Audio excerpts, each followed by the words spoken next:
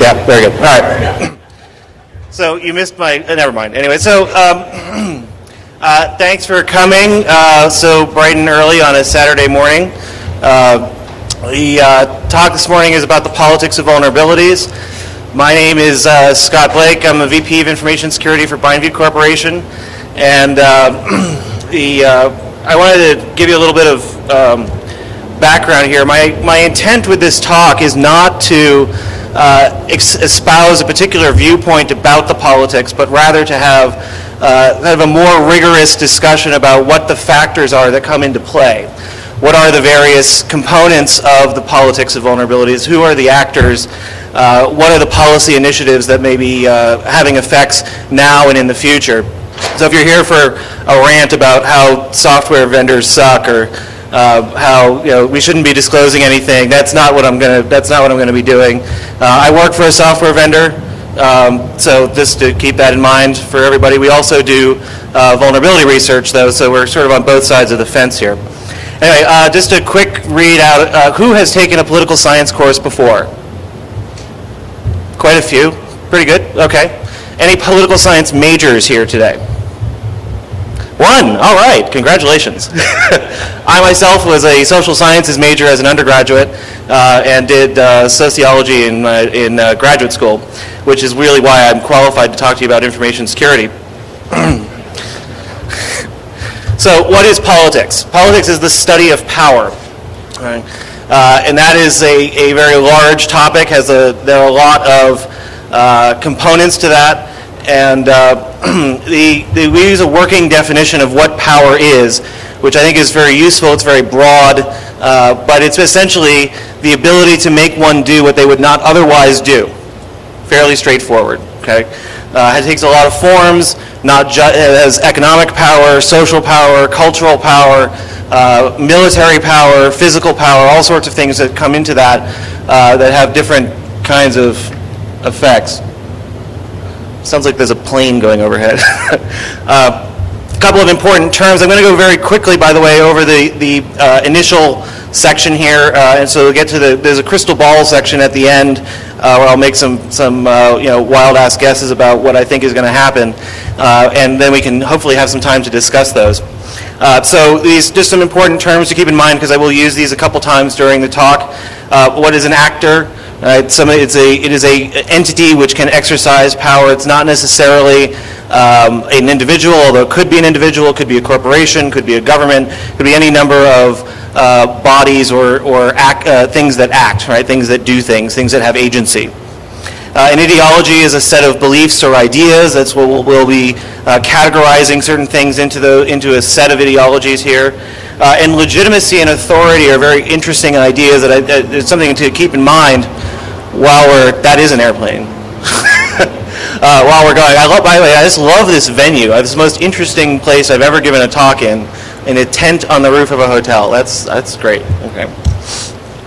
Um, this, I'm sure, is something that everything, everyone here is quite familiar with, but it's important to remember that not everyone agrees on what a vulnerability is. Uh, there are uh, academic, academicians who will generally define a vulnerability as a flaw in software. So for example, if you have a blank root password, they would not consider that to be a vulnerability. The software is doing what it should be doing. It is behaving as it was designed to behave. There is no bug which is producing something there. You could make a case that the ability to set a blank root password is a vulnerability, uh, if the, but only if the software uh, is intended to prevent that, but you are able to subvert that intent through some other means. uh, we use a, a, more broad definition here, uh, including misconfiguration. So in our case, the, uh, the blank root password would be considered a vulnerability because of the potential for misuse there. Uh, that should be fairly obvious for everyone. Okay. So these are the ideologies that I'm going to talk about.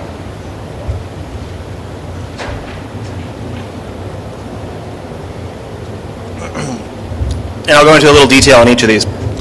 Uh, full disclosure uh, has a couple of basic ideas that are that are behind it. One of the uh, the foundational ideas uh, is that information should really be free. That it wants to be free, that we want to share information as broadly as possible for the greatest public good possible, uh, and that that's, that's a good thing in and of itself. Is there's a moral good associated with that. Uh, it also, the full disclosure is a, a power, a use of power associated with it, which is essentially to capture the power of public opinion in order to cause security to improve. That is generally, for those who advocate full disclosure, what they're after. They, the critics of full disclosure often take the point of view that, uh, that, the, that what is going on here is really uh, causing security to be less good than it would otherwise be, uh, but it, that's not part of the intent, and it's important to, to keep that in mind. Uh, most full disclosure includes the release of exploit code. And by the way, these, these terms that I'm using for the various ideologies are, uh, uh, they're debatable, right? And they're loaded. Uh, there, there are reasons that people pick the certain words that they use to describe certain things because they produce an effect. Uh, and that is essentially a use of power to decide which, which term to use and to try to capture certain terms for, the, for one's own use, rather than letting somebody else use them for something that you may not want them to use, want them to use it for. right? Uh, and, but I'm not going to go into that particularly. uh, the, uh, the, we're just going to sort of take these as a given, uh, as, a, as categories, but you can call it something else. Uh, you don't have to call it the, the things that I call it here. Uh, most of the adherents of full disclosure are generally nonprofit researchers. I'll talk about these uh, in a little bit more detail shortly. And a few, but very few, uh, commercial researchers also adhere to that. And that's pretty much it. Mostly it's researchers who are on the full disclosure side. The so-called responsible disclosure uh, has uh, been uh, somewhat popularized in the last year, year and a half, two years. Uh, and essentially the major distinction between so-called responsible disclosure and uh, so-called full disclosure is essentially the presence or lack thereof of exploit code. There are also some timing issues there with notification of vendors that we could make, we could talk about. but the exploit code is probably the, the primary thing.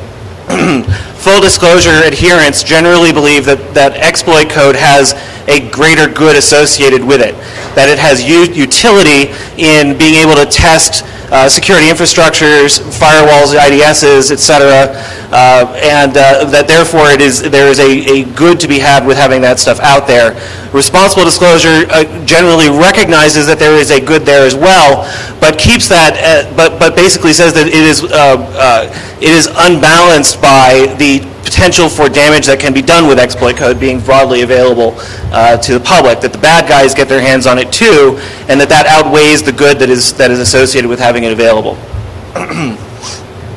Uh, it's also important to remember that, that responsible disclosure adherents generally are also trying to use the power of public opinion to improve security. By making people look bad for not having their security up to snuff, they hope to improve that. And there's actually, uh, historically, uh, quite a bit of, of, evidence to suggest that that is in fact the case. Uh, there, there, uh, the, the past three or four years have indicated that, the, that major software vendors have become much more responsive to security vulnerabilities being announced than they had been in the past. I don't think there'll, there'll be much dispute about that. Uh, and it, the, the case is generally made, and I think rightly so, that the result that that is the result of full disclosure and responsible disclosure being used to, to uh, cause them to do that, to do something that they would not otherwise do using the power of public opinion. Most of the adherents of responsible disclosure are uh, most commercial researchers, uh, and there are a number of categories in there as well, which I'll talk about when I get to the actors, uh, as well as some notable software vendors. Uh, and uh, it's important, I think, for us to give the, the, a little bit of benefit of the doubt there. Uh, we have a tendency to think of the vendors as being fairly strictly motivated by uh, the, their economic interests. And it's actually somewhat more complicated than that, and I'll talk about that in a minute. It's really hot in here and really dry. Is it going to get worse? Great. Well, I'm glad to be going early this time. Jeff always gives me an early time slot, and usually it pisses me off, but today I'm actually happy about it. Uh, Anyway, so zero disclosure uh, essentially tries to, to limit the availability of vulnerability information uh, to anybody. That a discoverer of a vulnerability basically takes that to the software vendor and then is done. Right? Or they may assist the software vendor in some way, but that it is then the software vendor's responsibility to issue patches and do whatever they're going to do, whatever that is, whether it's just issue the patch or just do it in the next version or whatever. Uh, the, uh, the zero disclosure ideology pardon me, uh, basically says that you, uh, there is no, there is no public good to be had in the release of vulnerability information. All you do when you do that is to make it easier for people to break the security uh, that in illegitimate ways. Okay? Uh, and the adherents here, by the way, are many software vendors and most government actors. Uh, although the uh, uh Richard Clarke's uh, speech at, at, Black Hat on Wednesday notwithstanding, uh, most sections of, of the federal government, at least, generally think that there is not much good to be had in the release of vulnerability information, as I'm sure most of us are aware. Uh, and the public, this is something that we can discuss in the question and answers at the end. If I have time, I'm going to try to keep my pace up here. Uh, there's, a, there's some debate about this, but the, uh, I basically take the point of view that uh, for people who think that their computer is essentially magic, uh, which is the majority of the public, uh, that they don't see any need for vulnerability information to be out there, that they don't see any benefit to that. Uh, and you know, we can make the, the, that's probably a relatively unreflected uh, opinion, but I think nevertheless it's there. Uh, there's another a variant of zero disclosure, which is sort of somewhere in between zero and, and responsible disclosure, uh, which is essentially I call it limited disclosure. It's with it's disclosing vulnerability information within closed communities that limit the ability of that information to be propagated outward. And the great the, the, the easiest example of that is the ISACs uh, the Information Security Sharing and Analysis Centers. There are a number of them organized around uh, vertical industries, the financial services industry, electrical power. There's one forming up on healthcare. There's one for information technology. There's a whole bunch of them. These are um, forming out of, I believe it was Presidential Directive number 63 several years ago uh, the, under the Clinton administration. They started seeing the formation of these and the, uh, and the real propagation of them. The, uh, the Department of Commerce uh, actually takes a leading role in trying to get these things organized. and the idea here basically is that uh, again, there is no there is no public good in the sharing of vulnerability information, but that there can be limited good for the sharing of information within these closed communities. So if I'm Bank A and I share something with Bank B, and we are therefore to get combined more secure than we would otherwise be, that's the, an example of the benefits of limited disclosure. Right? They keep things from being told to the bad guys, uh, but don't necessarily uh, keep it from the good guys. And it's an interesting idea. I'll talk a little bit about some of the pros and cons of those uh, in a little bit. Uh, this, uh, you guys have on the CD this slide, hopefully. Um, it's good for, for reference more than anything else. So it lays out the, the, major, uh, the major divisions between these uh, various ideologies.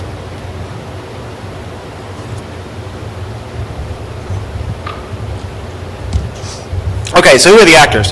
I put it into these uh, sort of five major categories uh, and a uh, controversial category or, or problematic category uh, that I refer to as the underground, and I'll, I'll tell you what I mean by that in a minute. So the vendors are pretty much the people that we're all familiar with. I'm mostly talking here about um, uh, commercial commercial software vendors as opposed to sort of open source vendors.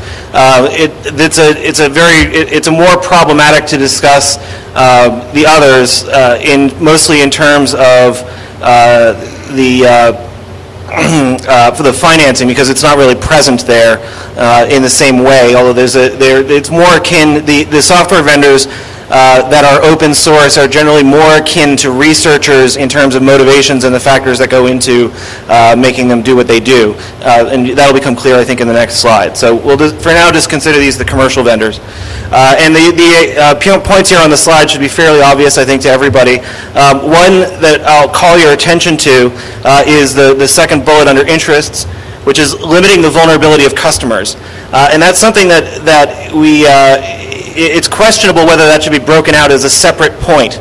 You can make the case, I think, that, that, that their only interest in limiting the vulnerability of customers uh, is insofar as that limits their damage to the brand value and allows them to sell more software.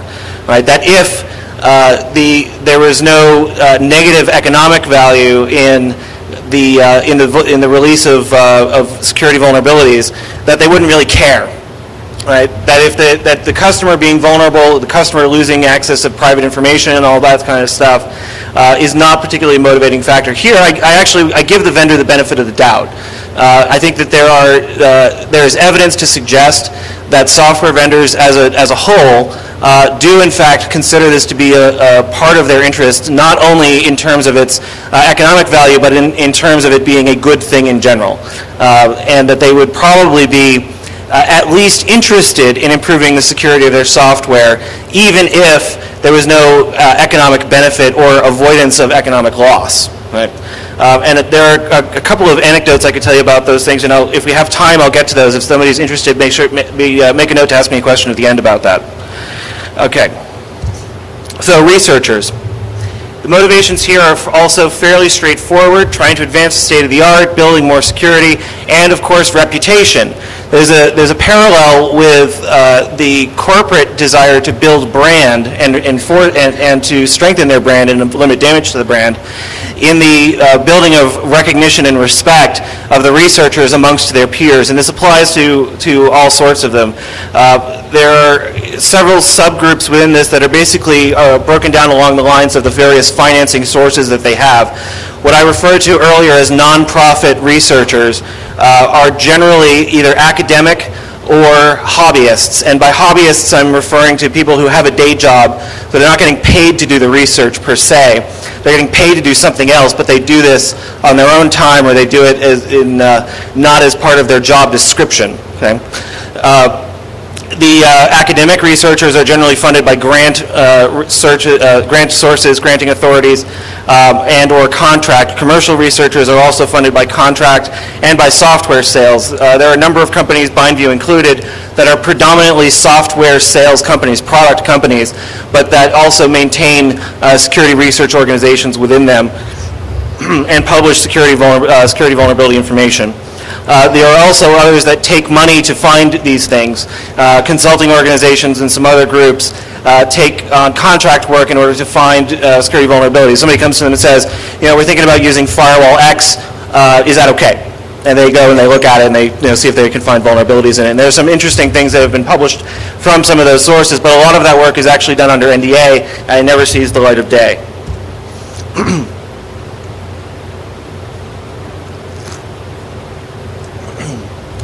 Uh, the two primary interests on the part of researchers are to continue the funding source. no researcher really wants to jeopardize their ability to uh, pay their rent or their mortgage, as the case may be. Uh, they, uh, and, and, so whether that's their day job or the contracting that they're getting from their customers, the software that they're selling to their customers, or the granting authority, whether that's the feds or some other, some other organization, uh, generally the researchers are constrained by uh, that source of funding and will not, and, and, will, and will not jeopardize that.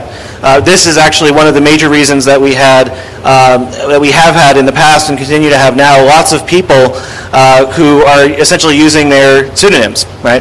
Because they, they are required or, or desire, find it prudent to separate who they really are uh, from what their, uh, their uh, real world identity from their security research. Uh, primarily, that's a, a, financial decision that, that has to get made. Not exclusively, but primarily. So these are the, the points here, some of the uh, power relations that we have with researchers and some of the other actors that are involved. I don't need to read them to you. You guys can all read, I assume. Anybody can't read the slides?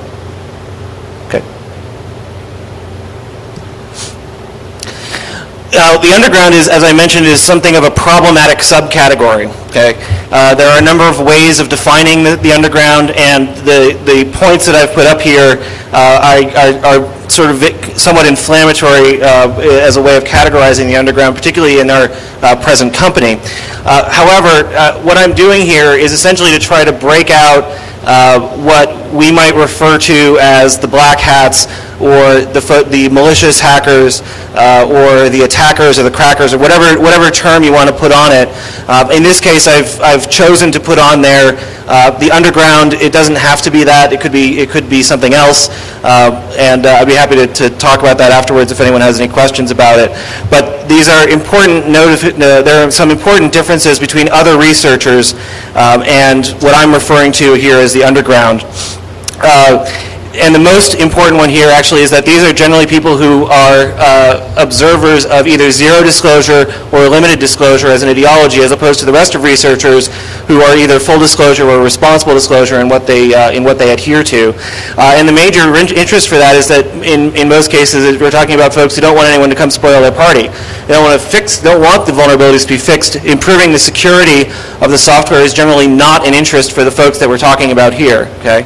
Uh, and so the funding sources are generally coming from the same places that we've seen in the others. These researchers are people who are coming in the same kinds of places, but there is an important additional piece here, uh, which is crime, criminal activities as, as a funding source for some of these things as well.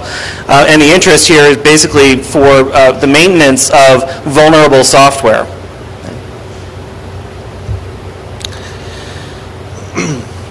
Uh, governments are another category, important category of actors, uh, and their primary motivation is what I refer to as the technocratic perception of public good. Uh, the, there, I think there can be little dispute that the governments are trying to do what they think, what they think is best okay, for everybody, uh, and balancing the competing interests of the various constituencies that the governments have. Now, how they arrive at what that is is a very interesting concept. Okay, and those of you who have taken a political science course know uh, that there we could talk about this particular aspect all day long, at least, if not for an entire semester or longer. Uh, you know, people have written big books about this and, and how governments come to decide what it is that they're trying to do. Um, but it, I think it's just important for us to consider here uh, that the public good is in fact what the government is trying to accomplish. Now, we may very well, we, we may and often do disagree with what they think the public good is, uh, but that is nevertheless what they're trying to do. So, uh, there are a couple of uh, points here on uh, financing, both taxes and campaign contributions are important pieces to consider, at least in our, uh, in our particular form of democracy, such as it is, uh, and some others as well. The, the campaign contribution is an important, uh, important component of funding for the, in deciding of what the activities of the government are going to be.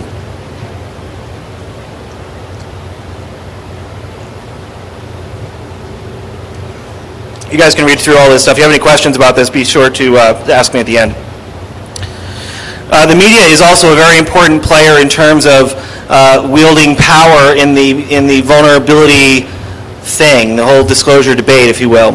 And what they're trying to do is fairly straightforward. They're trying to get readership. They're trying to maintain their uh, revenue stream and expand their revenue stream coming from either subscribers, people who want to read what they're what they're printing, and from advertisers most media outlets have some mix of these uh, for their for their funding sources. Some are very heavily in one than the other, and these produce different effects um, in making the decisions about what news is fit to print um, and what news, what angles the story should be taken. Uh, the financing and the interests of the readers are, are uh, major uh, major components here in how these things work. Power relations are, are essentially straightforward. All of the uh, all vendors want good PR. Right? All vendor, all governments want good PR. Most researchers want good PR. Most of us want to have the media say good things about us and make us look smart and cool. Right? Um, and they have the power to do that and decide who gets to look smart and cool. Uh, uh, and are very strong influencers of public perception. Uh, there's an interesting uh, note there that uh, there's a, a, tremendous degree of fear in the general populace. Something like 70% of the American population uh, believes that it is unsafe for them to uh, buy things online. Who's bought something online? Pretty much everybody. Not everybody, but almost everybody. Uh, did you feel safe when you did it? Who, who felt safe when you bought something online? Most, most everybody. Sorry? Yeah, Mark Loveless, our, our uh, illustrious Razor team member, was uh, pointing out that he bought on his corporate card, so. so he didn't care. And you shouldn't care either, actually, if you're using even your own credit card information, because your liability is limited by law at most to $50.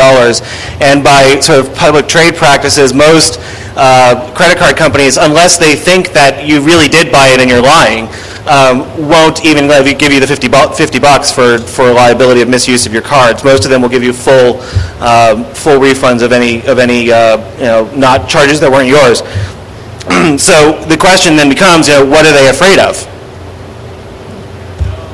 Whatever the media says they're afraid of, I would submit. But we can talk about that later too.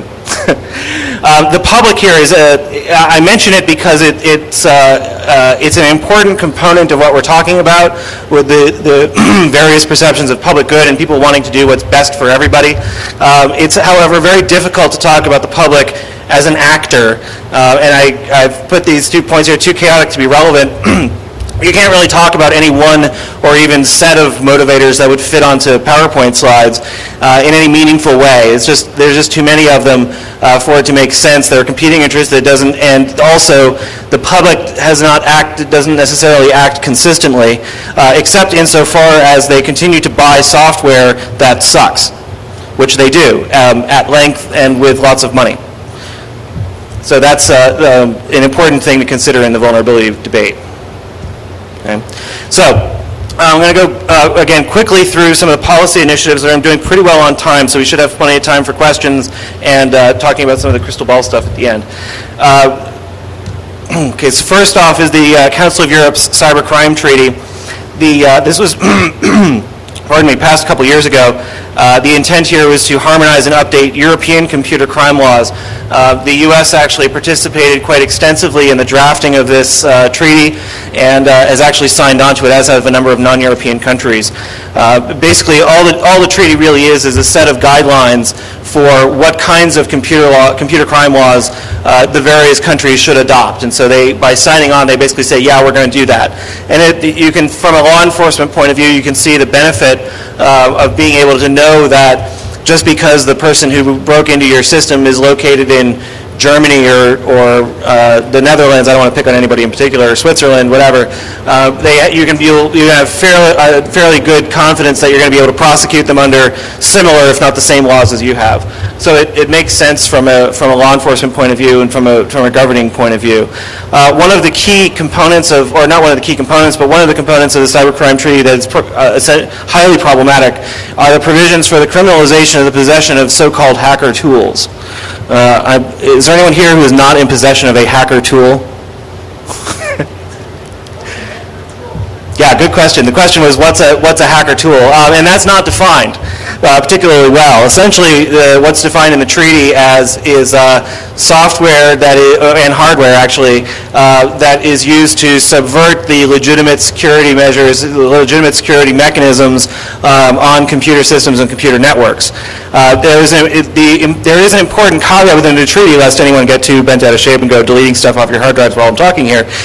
the intent to use them in a malicious fashion is, is a necessary prerequisite for the law. Um, the, uh, the, the problem here, of course, is that that intent is very difficult to show, uh, and uh, it's very also very difficult uh, to establish that uh, that the intent was not there if something bad happened. Um, so the, uh, uh, the, uh, the, there is no case law here yet. It'll be interesting to see as it, as it forms up. Uh, but the, this particular provision in, as well, I think, will have a, a tendency to, to, push us in the direction of certification requirements for security practitioners, insofar as you want to be able to define who has a legitimate interest in possessing and who does not have a legitimate interest in possessing, and who has the, the uh, legitimate authority to perform certain actions like cracking password databases. If you're a security practitioner, the law very specifically says you do have the right, you, do, you are allowed under the law to test the security of your systems by hacking it. Okay? It says that very clearly. Uh, but the question, of course, is who are you and what's your authority in, a, in any particular case, and how do you establish that?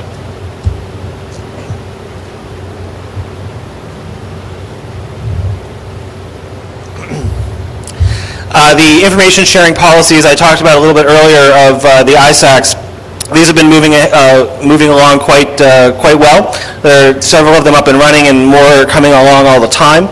Uh, the ideas here are basically to get better intelligence within these within these communities, uh, so they can have better predictability of the attacks that they may be facing, and better idea of what vulnerabilities are likely to be exploited in their environments. Uh, the, and they wanted, you know, the idea is to help them stay a step ahead of the, the bad guys. The, the problem with it, of course, is that these orga organizations that are members of ISACs have very little interest in discussing, in sharing any of their information outside of the ISACs, which is problematic for security research, particularly academic research, which depends upon the free flow of information in order to have, so that security researchers can know what is taking place out there and be able to, to uh, uh, improve the state of, of security. Uh, the uh, these in- ISACs have a tendency to keep the information enclosed within them, and it does also uh, propagate that information up to the government, but it very rarely gets outside of those communities, uh, which is uh, highly highly problematic for public discussion, particularly academic research. Uh, and also, it, it, I, what I say is information haves and have-nots. People who are in ISACs have access to all of this information, and people who are not in ISACs don't. They have no access to this stuff. They don't know what's going on, and they, and they won't know what's going on. Now, they, the vision of ISACs, to be fair, is that once these are all up and running, most companies would be part of them. The information will flow up to the government, and the government will then give it back out. Well, government doesn't really have a great track record on giving it back out. I see a couple people laughing in the audience, right? Uh, and that's fair. I mean, the, uh, the, one of the major criticisms of, of all of the public-private partnerships like NIPC and Infragard is that the private companies give their information to the feds and nothing ever comes back. Well, you know, the feds are, uh, will defend themselves if there are any present by saying that you know, they're restricted if there are prosecutions, they have uh, laws that, that deal with what they're allowed to tell other people, and, and that's cool. Uh, but, you know, what's the benefit for us giving them information in the first place?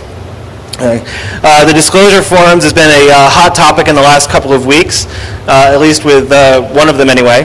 And uh, but these are they're an important thing to consider in the they're, they're an important factor in, all, in putting all of this together. Uh, the, uh, the idea here is, of course, to get information out to everybody who needs it, to everybody who's running a system who wants to know what, the, what security issues are going to be present on their systems.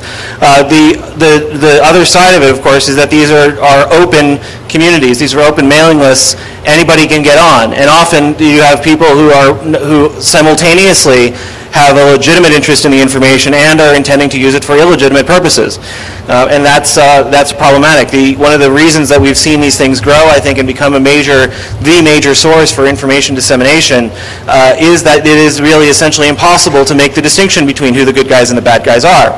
Uh, it's the, the, there's no good way to do that, uh, as far as we know anyway so far. Uh, and so anyway, it'll be interesting to see, I think, what happens with, with Bugtraq under new management.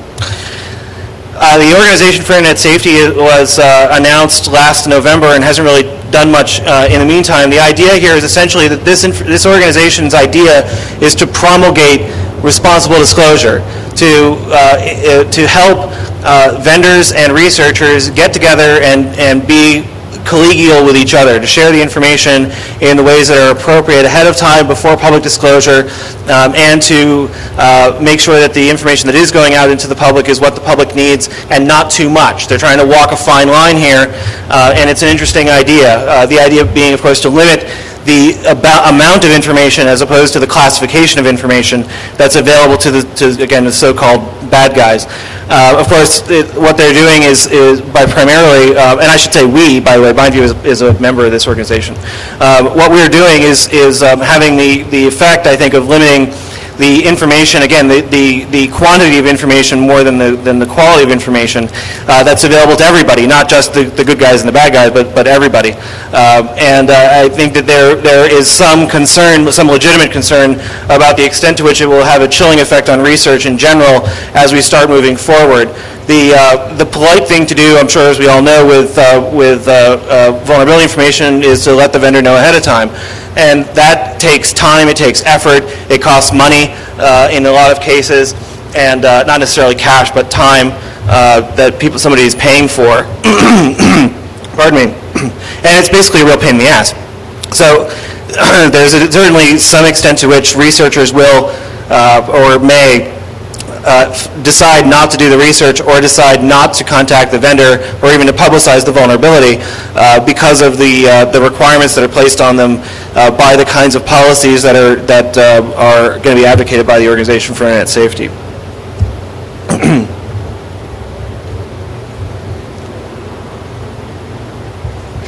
There's been a lot of legislation in the U.S. lately uh, that's come along in the last couple of years. Some of this stuff with the, the FOIA and antitrust exemptions are pending. They aren't, uh, they're not currently passed.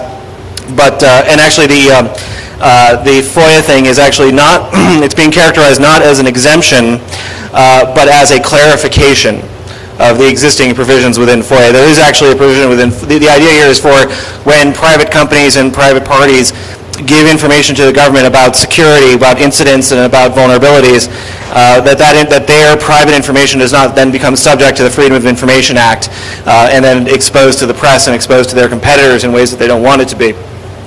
uh, actually FOIA already has a provision within it uh, that private information that's shared for national security purposes and law enforcement purposes uh, generally does not fall under the free, is not is generally not uh, releasable under the Freedom of Information Act, um, and the idea here is to clarify that provision to include networking type information uh, and system type information, uh, so that companies will feel more comfortable uh, giving this stuff out, and also. Uh, the antitrust provisions are important for the ISACs so that they're not open to charges of collusion for these companies that are all operating within the same industry for sharing security information. Um, the uh, uh, this stuff is somewhat controversial. There's been some press coverage about it.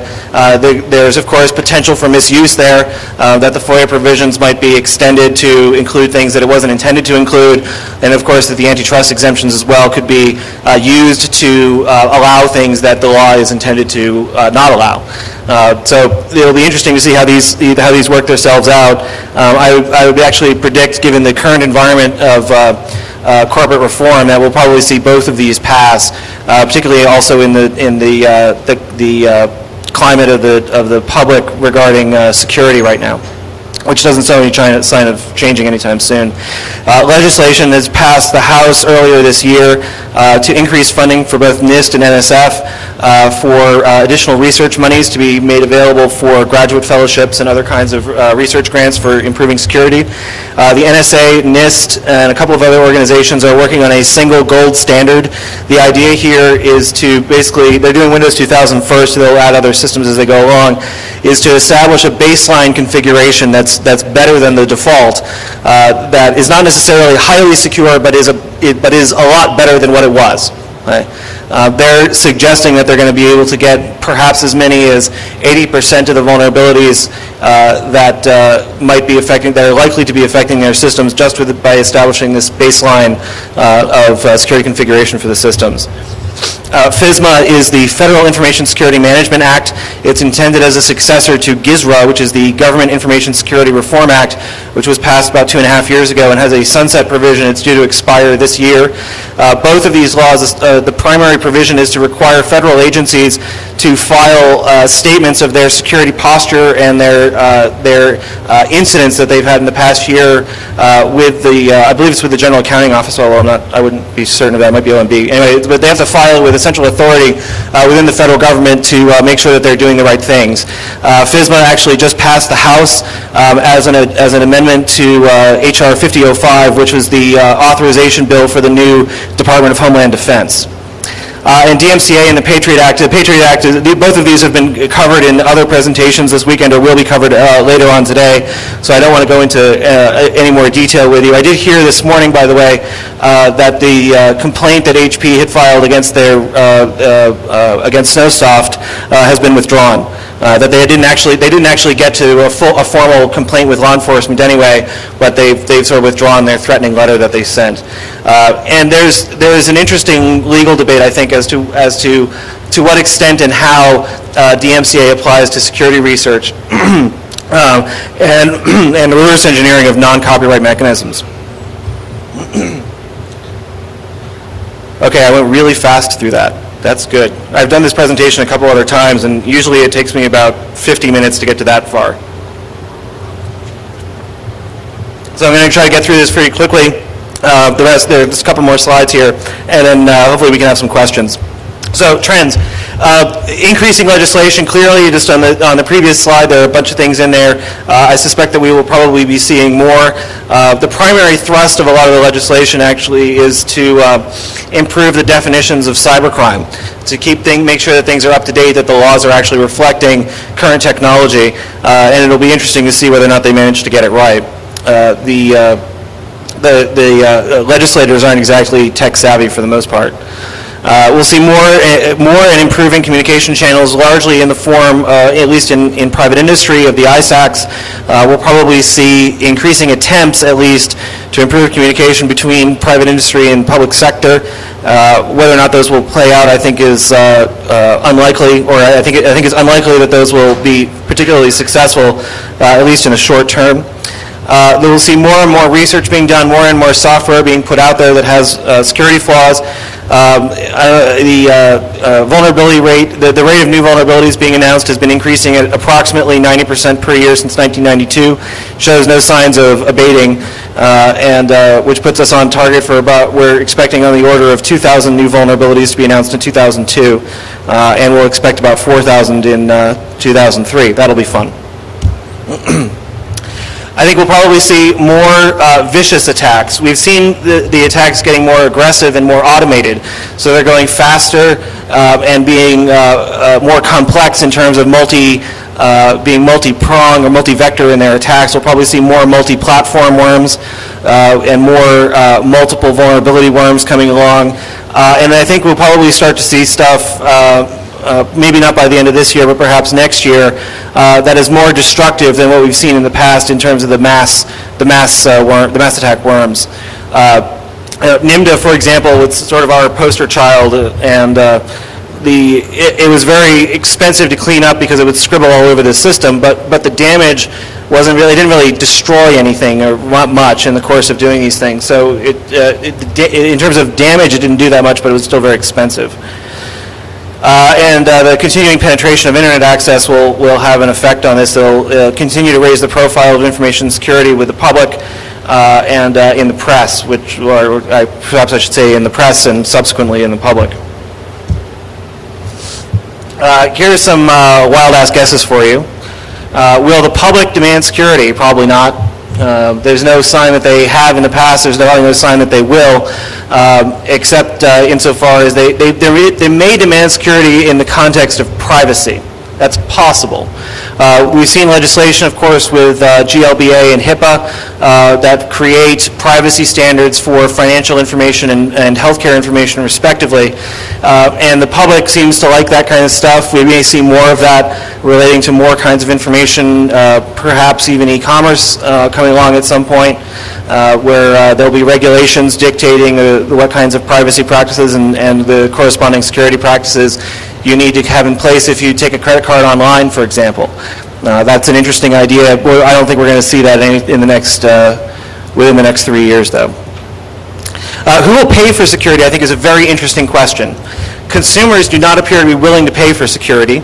Uh, they certainly don't make the uh, uh, more secure choices in operating systems or software that they purchase, uh, including corporations, by and large. Uh, there are cer certainly a few notable exceptions. Interestingly, they will pay for security devices. They will pay for software and hardware that will help them improve their, that, that will do their security, uh, that will do security things for them. Uh, but uh, you'd be hard pressed, I think, to give examples of uh, where people will actually buy, take the more secure software choice. You, you want to address that?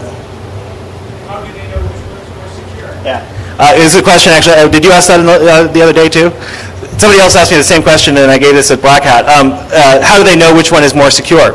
Uh, and that's an interesting question. Um, and uh, by and large, they don't, of course uh, because there's no there's no easy way to do that. Uh, but they don't they don't have to know which is more which is more secure factually, right? All they really have to know is which one is marketing something as being more secure. Because as we all know, technology doesn't drive the decisions, marketing drives the decisions. Somebody I'm sure is going to raise their hand on that one. But anyway, the, uh, yeah, the, if the, there are cases where uh, software vendors have essentially advertised this is the secure stuff, right? And it does not drive software sales. Okay? Uh, we can, well, that, that's a more extensive discussion than I, we have time for right now. We can talk about it afterwards if you want. Uh, there is some indication, by the way, that the government may step in here.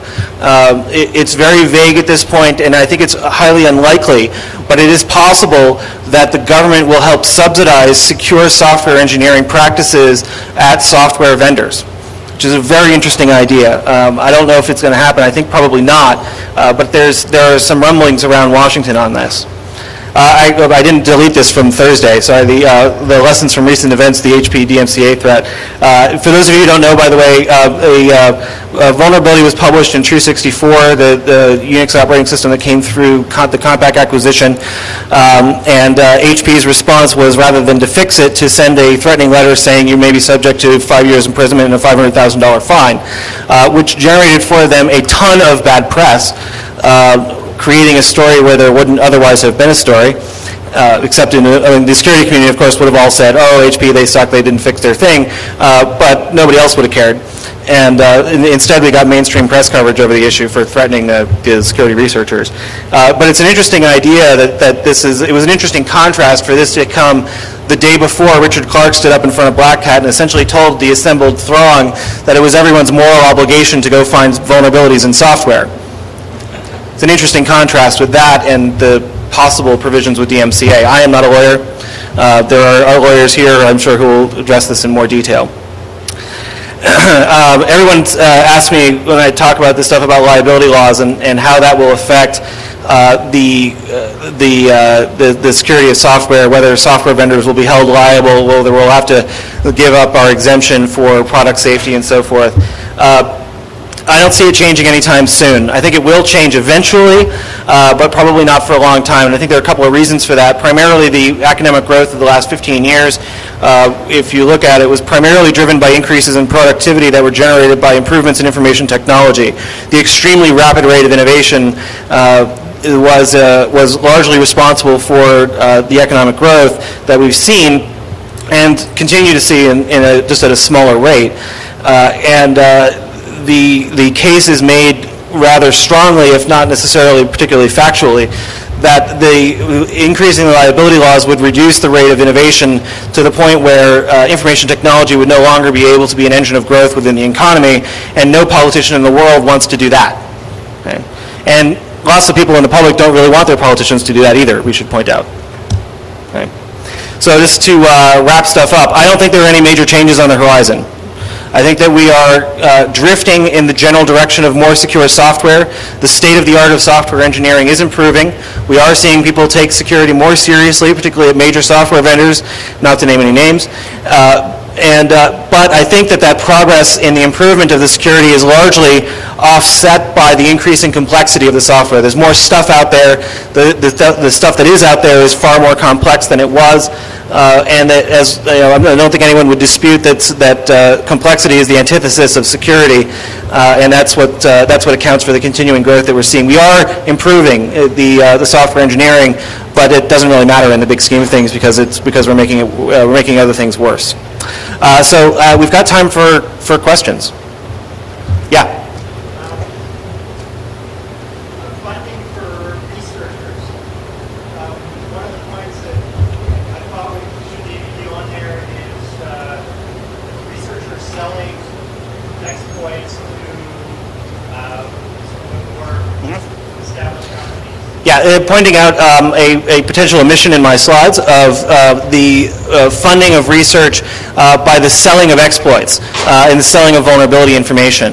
Um, the, and I think it's a good point, although I think it's a, I think it's not as significant, um, uh, it's not as significant in the overall picture right now. Uh, There have been a couple of examples of places where people have tried to do that. Uh, In most cases, those have really been considered more blackmail than business.